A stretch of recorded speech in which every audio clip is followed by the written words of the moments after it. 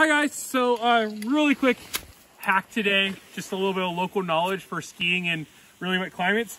Uh, it's hard to tell, but uh, it's been raining here. The rain stopped, that's why we're out filming.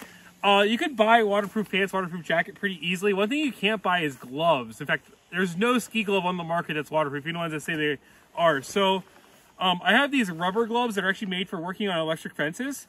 And these gloves have some insulation in them, but they're absolutely waterproof. So if it's a cold, rainy, wet day, your hands won't get wet. They're also cheap and they also save your leather gloves from getting wet and disgusting and having to re-leather balm them to keep them nice. So these are highly recommended if you spend a lot of time in the wet, in, in the wet and cold at a ski area, whether you're just a free skier or some sort of resort employee. Rubber gloves. Simplest hack ever.